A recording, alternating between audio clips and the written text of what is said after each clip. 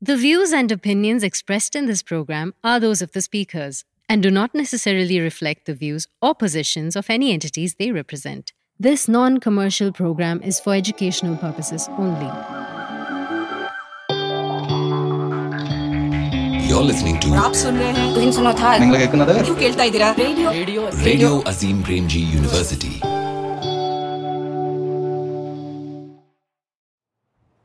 Imagine an endless tract of land, flat, with no undulation, no rising and falling landscape. Let your imagination now travel to the run of Kutch in Gujarat. And you will find yourself, as I did, in the Bunny grasslands.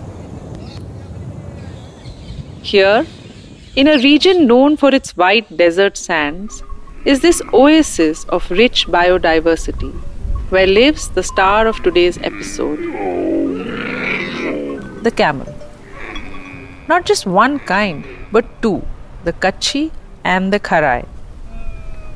While the Kachi camels fit the description we are more familiar with, in the quiet remoteness of Kutch, far from prying eyes, also live the Kharai camels that gracefully walk into the Arabian Sea, effortlessly swimming to reach marine mangroves along the coast. This is their preferred grazing ground. And along with them are the Maldharis, or herdsmen.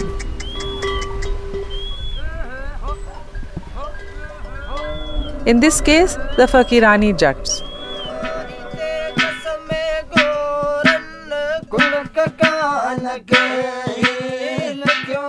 Who specialize in rearing camels. Distinct in this arid landscape with their colorful scarves and broad smiles.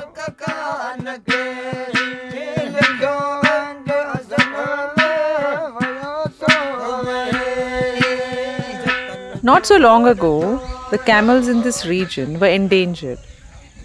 Their numbers were falling rapidly as their habitats shrunk giving way to industries and forcing the Jats to migrate in search of work. But this was only until camel milk came of age. पहले मैं truck चलाता था। तब कोई ऊँट का कोई दूध का कोई कारोबार था नहीं दूध बिकता नहीं था इसलिए। लोग पहले मानते थे कि केमल मिल्क तो बिल्कुल अखाद्य है। वो लोग खाना शुरू कर दिए। तो वो मालदारी बहुत मुश्किल से हमें मिले क्योंकि वो जंगल में ही रहते हैं पूरे बारह महीने जंगल में रहते हैं। ऊँट ही हमारी कड़ी है केंद्र बिंदु है। अगर ऊँट है तभी हमारा जंगल के साथ रिश्ता है तभी हमारी इनकम है तभी हमारी संस्कृति है। इसके ऊपर हमारा गुजराना चल रहा है जो सोलार कंपनी आएगा तो सोलार आएगा तो सोलार तो ये पूरा कवर कर लेगा। कवर कर लेगा तो हमारा इतना इतना बड़ा ऊँट है पाँच छः हज़ार अभी ऊँट है। ये कहाँ जाएगा? मैं इसी बिज़नेस में रहूँगा जब तक ज़िंदा हूँ। Pakka. पक्का। Hello, I'm your host Anuradha Nagraj, faculty at the School of Development at the Azim Premji University. And in this episode of the Stories of Change, I walk with the pastoralists in Bunny to understand the deep connect between them and their camels and how non-profit Sahajivan has helped them to keep that connection alive in a rapidly changing world around them. तो अच्छा हमको मालूम है कि इन एरियो में ये वनस्पति है। तो ये ऊँट जो कैमल खाएँगी तो इससे दूध इसका बेहतरीन और अच्छा होगा। तो हम उस एरिया में जाएँगे तो बारिश के महीने सीज़न में हम चार महीने बारिश के तो चार महीने एक कठे herdsman Saleh Abdul Rahman is talking about that traditional but fast disappearing nomadic way of life it is fascinating how the nomadic cycle works in the Kutch For eight months, the Maldharis take their Kharai camels to the mangrove islands, or Bets as they are locally called. Here, the camels eat saline plants and drink rainwater accumulated in depressions on these islands. In winter, they graze on dry land, completing the cycle of migration. हमारा माल और हमारा family एक साथ रहते हैं लेकिन माल हमारा जो ऊँट है वो पूरा घूमता रहता है क्योंकि वो अभी इधर वनस्पति अच्छा है तो इधर खाएगा इधर ख़त्म हो गया तो दूसरी जगह पे जाएँगे उधर ख़त्म हो गया तो तीसरी जगह पे जाएँगे इस ये पूरा साल हम घूमते घूमते निकलते हैं And guess what?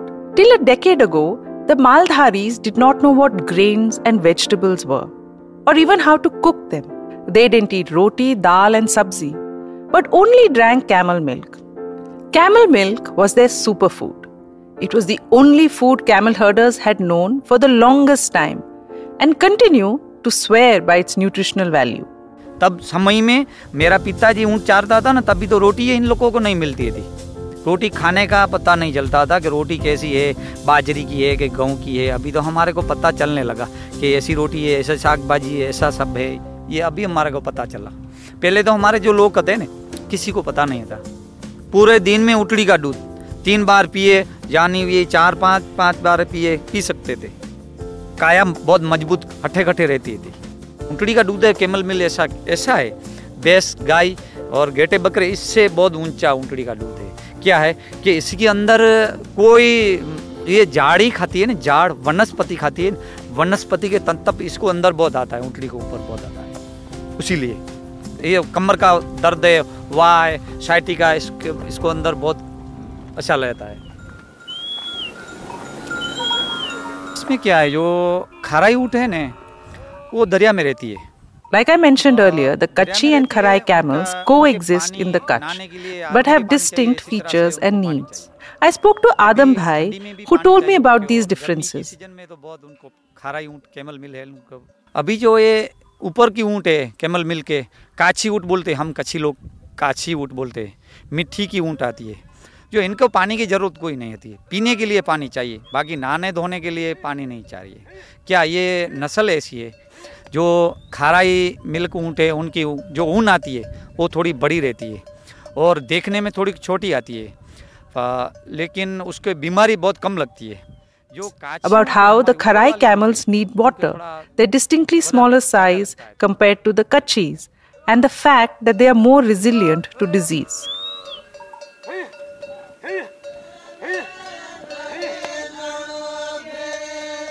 But all was not well in the bunny grasslands. अभी ऊँटों की नस्ल बहुत ख़त्म हो गई थी पहले टाइम उस हाल तो मेरे को पूरा ख्याल नहीं है मैं पंद्रह साल का था, तब मेरे को पूरा ख्याल है कि इसका दूध का कोई वैल्यू ना था वैल्यूशन नहीं था और ऊँट बड़ा आगे आगे कहीं दूर जा सकती नहीं थी। फिर हमने धंधा भी बदला दिया था।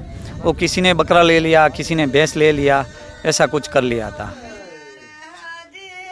The journey to save the camels begins in 2007 when a livestock survey showed that the number of camels in Kutch had dropped they were below 10000 now and the feasibility of keeping camels in Kutch had also declined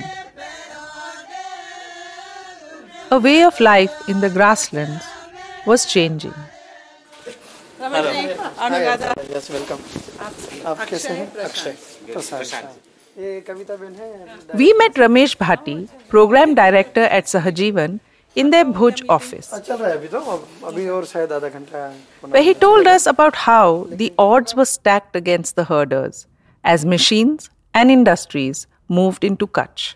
Kutch में सबसे बड़े दो occupation है एक है rainfed farming सूखी खेती सबसे बड़ा व्यवसाय है यहाँ का। दूसरे नंबर पे है पास्टोरलिज्म मतलब लाइफ स्टॉक कीपिंग ठीक है? एक टाइम पे कच्छ में 1997 का हमारे पास गवर्नमेंट का रिकॉर्ड हुआ कि 17,000 कैमल थे 17,000 रिकॉर्डेड लेकिन उससे भी तो ज़्यादा थे ये तो कम थे हो सकता है पच्चीस तीस हज़ार कैमल होंगे। लेकिन जो मेकेनाइजेशन हुआ मतलब ऊँट का काम है जो मेल है ना उसको ट्रांसपोर्टेशन में इस्तेमाल करते थे। लोरी में या खेती में या दूसरी जगहों पे तो छकड़ा आ गया अब जीप आ गई ट्रैक्टर आ गया ये सब आने से मेल कैमल की डिमांड काफ़ी कम हो गई थी इसलिए इनके जो सोर्स ऑफ़ इनकम था वो काफ़ी हद तक कम हो गया था तो लोगों ने उनको रखना कम कर दिया था It was at a meeting of the newly formed Camel Breeders Association that herder Bikabai first mentioned the Kharai camel. This was in 2010. तो एक मीटिंग हम कर रहे थे भुज में मालदारियों के साथ। वो उनका क्या था कि संगठन जो बनाना था, उसकी एक एनुअल जनरल बॉडी की मीटिंग थी। तो ये प्रोग्राम ओरिजिनली कच्ची केमल के लिए था, क्योंकि कच्ची केमल थ्रेटन ब्रीड हो गया था। उसका हम प्रोग्राम चला रहे थे। तो जितने सारे प्रेजेंटेशन थे, जो बातचीत चल रही थी, वो हर चीज़ कि कच्ची केमल कच्ची केमल कच्ची केमल कच्ची केमल के ऊपर ही बात चल रही थी। तब जो भिखा भाई थे, उनकी जब स्पीच आई तो वो बोले कि काफ़ी टाइम हो गया, सब लोग कच्ची केमल कच्ची केमल कच्ची केमल ही कर रहे हैं। और क्योंकि प्रोग्राम ही कच्ची केमल का था तो उन्होंने बोला, आप किसी को मालूम भी नहीं है, लेकिन हम खाराई केमल रखते हैं। और मेरे पास सौ खाराई केमल है। मेरे गाँव में हज़ार खाराई केमल है। और अबड़ासा में है, लखपत में है, मुंद्रा में है। तो करीबन 2000 2010 में भिखा भाई ने पहली बार खाराई केमल के बारे में कोई बात की। Sitting in his Bhuj office, recalling the early days of their work, Ramesh Bhai describes to me his first journey to see the Kharai camels. At the coast, he put his camera into a polythene bag, held it above his head, and entered the water.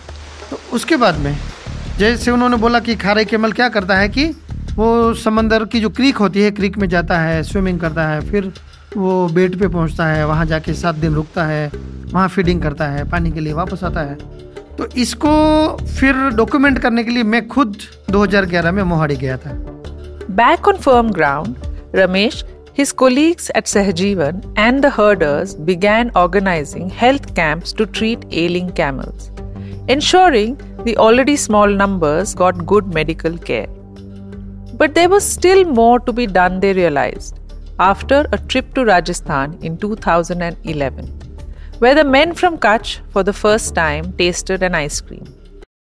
Not just any ice cream, but ice cream made from camel's milk. Pushkar में जो मेला लगता है पुष्कर में आप जानते हैं कि एक लाख ऊँट आते थे वहाँ पे और वहाँ पे वो यहाँ जैसलमेर में केमल मिल्क का एक छोटा सा प्लांट था उनके पास उसमें से वो आइसक्रीम बनाते थे और आइसक्रीम बेचते थे क्योंकि राजस्थान में केमल बहुत फ़ेमस है हम वहाँ पे जो पूरा सबको मिल के आए देख के आए अनुभव हुआ एक चीज़ हमने पकड़ ली कि कैमल में दूध अच्छा होता है The taste of camel milk is hard to describe. For taste buds like mine, used to cow or buffalo's milk, the slightly salty, rich taste of camel milk is different.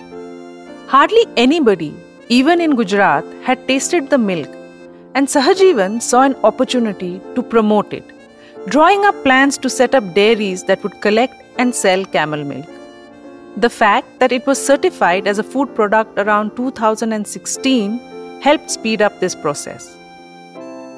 एक ऊँटनी एक time का तीन litre दूध देती है, दो time का छः लीटर दूध देती है, ठीक है तो अगर बच्चा तीन लीटर भी दूध पी लेता है तो भी तीन लीटर है वो बच सकता है, जो ये लोग सेल कर सकते हैं तो 2011 में या 12 में हमने ठान लिया 2011 में ही हमने तय कर लिया कि केमल मिल्क डेरी कच्छ में लगानी चाहिए ताकि मालदारियों को इनकम मिले। इसके ऊपर but the idea took time to take off because the commerce of camel milk made no sense to the Maldharis camel pastoralism is steeped in spirituality and the communities that keep camels believe that herding is a mandate from God camels are treated as family members and the Fakirani Jats have traditionally refuse to sell milk for profit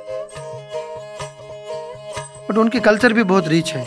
जैसे जैसे फकीरानी जत है तो उनकी अपनी परंपराएँ हैं। जैसे फकीरानी जत क्या एक एक दोहा है, वो क्या कहते हैं कि पखे के छरणु न गगे के वेकणु न, खीर मेनू मखण कढणु न। जडे ही थींदो तॾहिं क़यामत अचंदी। मतलब वो ये कहना चाहते हैं कि खीर मेनू मक्खन कढणो न है मतलब जो दूध है, उसका बटर निकाल के कभी बेचना नहीं है। वो खुद पीना, किसी को बेचना मत। पखा पखा मतलब घास का मकान है, वो मोबाइल है तो यहाँ से वहाँ लेके आप उठा के जा सकते हो। तो आप चलते रहना मतलब जानवर के साथ। कभी अगर बैठ गए, जिस दिन आप बैठ जाओगे, उस दिन केवल या आपके जानवर फिर ग्रेजिंग भूल जाएँगे और आपका सिस्टम खत्म हो जाएगा। फिर गग्गे के वेकन होना। गग्गा मतलब कि जो फकीरानी जत औरतें हैं, उनका जो ऊपर का जो टॉप है, वो एम्ब्रॉयडरी करते हैं, पूरा का पूरा गला और ये सब, वो गग्गा होता है। वो क्या होता है कि जो बेटी का जब शादी होता है तो बेटी जब छः आठ साल की हो जाती है, तब से वो अपना खुद का गगा बनाना शुरू कर देती है। और आठ दस साल तो बनाती रहती है बनाती रहती जब उसकी शादी होती है तब उसको गिफ्ट में दिया जाता है। तो ये कहते हैं कि ये आपकी कल्चर है और आपकी रिलेशन है। इस परिवार की उस परिवार के साथ उस बेटी के साथ एक रिलेशन है। तो किसी को आप दोगे आप बना के आप मैंने मानो कि मेरी बेटी ने बना के आपको दिया या आपको दिया लेकिन बेचेंगे नहीं। जिस दिन बेचना शुरू कर देंगे उस दिन हमारी जो रिलेशन है इस कल्चर है वो खत्म हो जाएगी। तो गगे के वेकणु ना कड्डे पड़े ठीक है? जड्डे ही थींदो तड्डे कयामत चिंदी। मतलब जिस दिन ये शुरू हो, होगा उस दिन कयामत आनी शुरू हो जाएगी। ठीक है? तो मालदारी खुद कहते हैं कि हमने, हमारे केमल कम होने शुरू हो गए। ठीक है? इसका कारण ये है कि हमने खुद ने अपना एम्ब्रॉयडरी बेचना शुरू किया। हमने दूध बेचते तो नहीं थे, लेकिन दूध टी स्टॉल वालों को देना शुरू किया। ठीक है?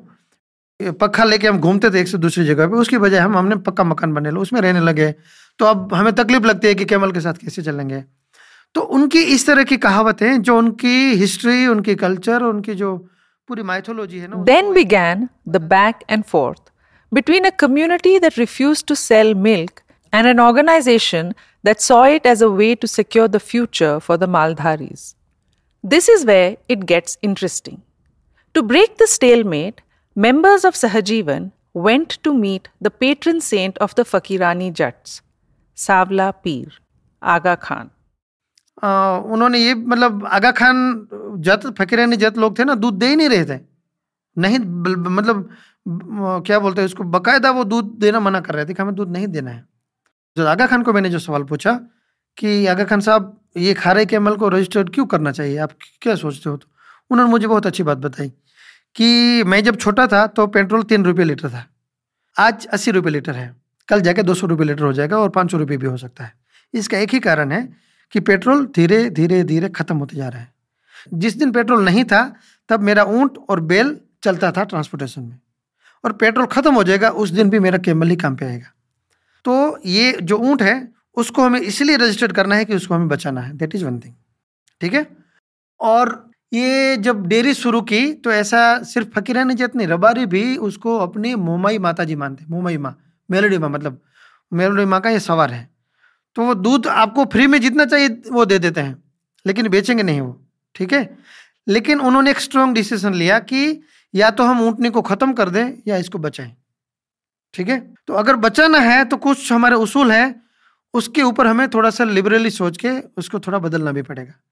अगर हम नहीं बदलेंगे हमारे उस ख्याल को तो फिर हमारा ऊँट पूरा ख़त्म हो जाएगा, हमारी कल्चर भी ख़त्म हो जाएगी और हम जिस चीज़ के ऊपर डिपेंड है, वो तो पूरा नष्ट हो जाएगी।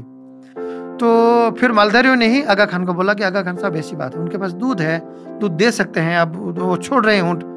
तो आगा खान साहब ने, मैंने खुद ने आगा खान को फ़ोन किया था मालधारियों ने फ़ोन किया था कॉन्फ्रेंस में। तो आगा खान एक एक मालधारी को फ़ोन करके बोलते थे कि मैं जो आगा खान हूँ, सावलानी, आपका धर्मगुरु, मैं आपको बोलता हूँ कि आप दूध बेचना शुरू करो। अगर आप दूध नहीं बेचोगे तो आपके बच्चे ऊँट बिल्कुल नहीं रखेंगे। आप तो रख रहे हो, लेकिन आपकी दूसरी पीढ़ी नहीं रखेगी।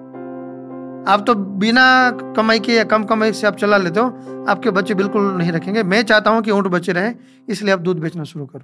And then came the first dairy in Nakhatrana and almost immediately the second challenge came up the question was how do you collect milk when the camels are always on the move in saucer shaped fresh water lake Chhari Dhand during the winter the mangroves in the monsoons, and across the region during the dry summer months. तो करीबन एक साल तक ये प्रक्रिया चली। लोगों को मनाना समझाना पूछना। मालधारियों ने ही बोला कि एक काम करो कि आपके जहाँ पे ऑलरेडी बीएमसी लगे हुए हैं जैसे कि दयापर में या फिर रापर में या फिर नखतराना में हम जहाँ पे भी होंगे हम अपनी गाड़ी से दूध आपके सेंटर तक पहुँचा देंगे। आपके सेंटर में आप अलग से एक बीएमसी लगा के उसके अंदर आप दूध फिर चील करके आपको जहाँ पहुँचाना है पहुँचा देना। B M C stand for bulk milk cooler which is at centres camel milk is collected tested for quality and stored for further distribution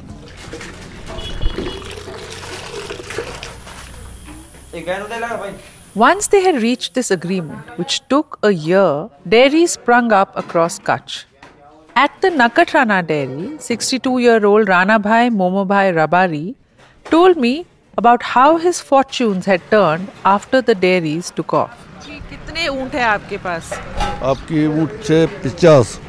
ऊँट को भी चला हुआ चालीस वर्ष था चालीस साल। तीन साल गाड़ी मोटी चलाई। तीन साल। तीन साल। बड़ी गाड़ी है ट्रक। ट्रक क्यों चलाया? हमारा धंधा ना होता तो धंधो करना पड़े ना दूसरा अपने कोई बिज़नेस नहीं था इसलिए ट्रक चलाने के लिए। का बिज़नेस कब से अच्छा होने लगा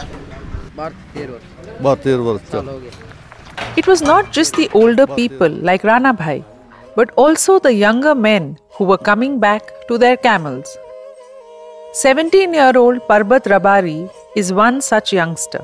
क्योंकि इसमें डिमांड बहुत है दूध हम जिलों दस लीटर भराते हैं तो पाँच सौ रुपया तारीख होती है एक एक खाली सौ सुबह की और शाम का दस लीटर भराते हैं हज़ार रुपया तारीख होती है दूसरे धंधे में इतना कुछ है नहीं इंटरेस्ट सभी उसमें आ रहे हैं कितने मेरी उम्र के आ रहे हैं इधर आपने देखा होगा ना अभी बहुत याद आ रहे हैं मैं इसी बिज़नेस में रहूँगा जब तक ज़िंदा हूँ पक्का पक्का As the world gears up to celebrate 2024 as the year of the camel, Sahajivan hopes to take their campaign to a wider audience.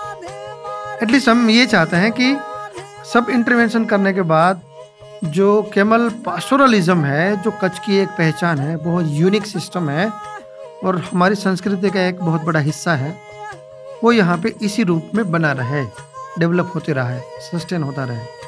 अभी सेंट्रल गवर्नमेंट के केमल और उनके लिए कोई स्कीम कोई पॉलिसी कुछ नहीं है स्टेट लेवल पे थोड़े बहुत है, उसको सेंट्रल लेवल पे करना पड़ेगा। राजस्थान में केमल मिल्क डेयरी नहीं है, इतने सारे केमल होने के बावजूद। तो ऐसी जो भी सारी चीज़ें हैं एटलीस्ट केमल हार्डिंग को सस्टेन करने के लिए हमें अभी और काफ़ी जागरूक होके और ज़्यादा एफर्ट्स डाल के और स्ट्रोंगर होके नई नई स्ट्रेटजी के साथ हमें काम करना पड़ेगा As the sun sets over the Bunny grasslands, the Maldharis herd their flock together to settle down for a night under the open sky. We drive away, hoping that the Maldharis and their camels will continue to sustain in this ecosystem. Here is Amalendu Jyotishi, faculty at the School of Development, telling us why the Sahajivan intervention is special and part of the second volume of the Stories of Change. Sahajivan's work is uh, interesting from multiple perspectives. Uh, one thing is that uh, Sahajivan understood the pain points associated with uh, the camel, the camel herders, the Maldharis, and the ecosystem in which uh, they they survive. And three important points uh, they they looked into and uh, worked on. Uh, first thing is that they worked with the community and figure out that this species is uh, gradually getting extinct, and it, it is required that uh, they have to revive the species. For this, they they have to understand the community's lifestyle they have to understand how they live and how how they relate with the camels and what are the values they can get out of uh, the camels and much later in fact they got into working on the ecosystem in which the camels uh, survive I hope you enjoyed listening to that episode. My name is Narayan and I work in the art and culture function at the Azim Premji Foundation.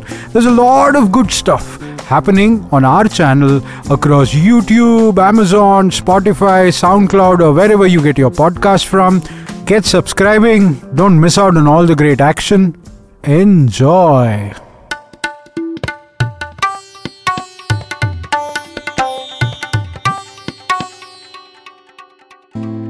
In Kannada, vachanas are a particular kind of poetry that we are going to look at a lot of examples today.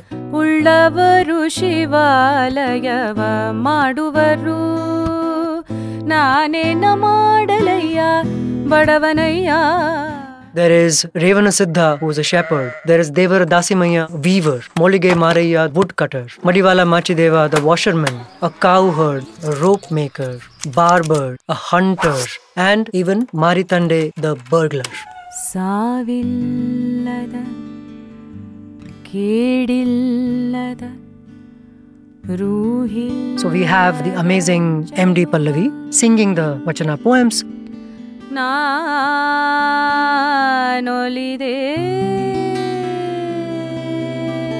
we have the wonderful guitarist Bruce Lee Money accompanying her. So come with me on this journey.